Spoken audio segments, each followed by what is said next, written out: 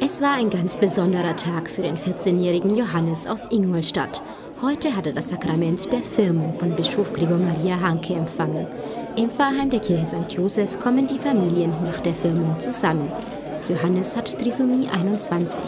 Die Entwicklung von Kindern mit dem sogenannten Down-Syndrom verläuft anders.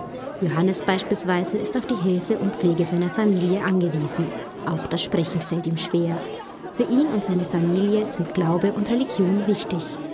Ich denke, dass er eine große Verbindung zu Gott und zum Heiligen Geist schon gespürt hat und er ist auch darauf vorbereitet worden. Und die Predigt äh, vom Bischof fand ich großartig, dieses Bild mit dem Seil, das uns hält. Das hat sicher die Kinder sehr angesprochen und die Erwachsenen. Und ich denke, das war für ihn eine große Bereicherung, dieses Fest in der Kirche. Gemeinsam mit Johannes nehmen 13 weitere junge Menschen mit ihren Familien am Firmgottesdienst teil.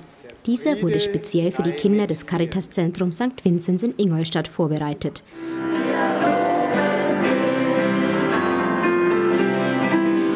Auch Bischof Hanke hat seine Predigt zugestaltet, dass sie von den Kindern verstanden wird.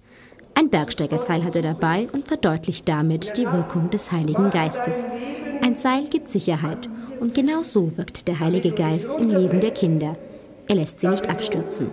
Bischof Hanke nimmt Firmungen mit behinderten Kindern gerne an. Mich beeindruckt immer diese Unmittelbarkeit, wie die Kinder die Botschaft, den Inhalt der Firmung aufnehmen. Diese Kinder waren jetzt vom Wesen, von der Feier der Liturgie so bewegt und das beeindruckt mich immer wieder tief.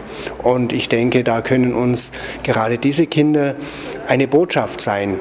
Und ich finde es schön, dass es äh, Gottesdienste gibt, die gerade für Behinderte sind, wir verstecken uns nicht, wir gehen hier in eine Pfarrkirche und wir erfahren auch in der gemeinsamen Feier, wie kostbar dieses Leben ist, dass es zu schützen gilt und dem es auch in unserer Gesellschaft Raum zu schaffen gilt. Auch bei der Lesung und Gabenbereitung werden die Kinder aktiv mit einbezogen.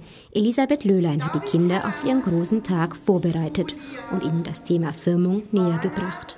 Ich habe versucht, diese Bilder ähm, vom Heiligen Geist einfach runterzubrechen in die Erfahrungswelt der Kinder.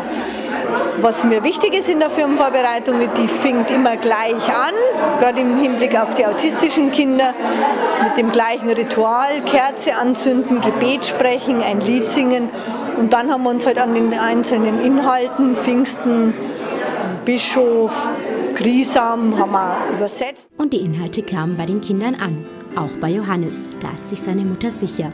Er mag Gemeinschaft und hört gerne kirchliche Lieder. Auch das Beten ist ihm wichtig. Für Annemie Klump-Savé ist ihr Sohn eine Bereicherung. Er gibt auch sehr viel durch sein Strahlen, durch seine Freudigkeit, durch seine Spontanität, auf Leute zuzugehen und durch sein Leben im Augenblick.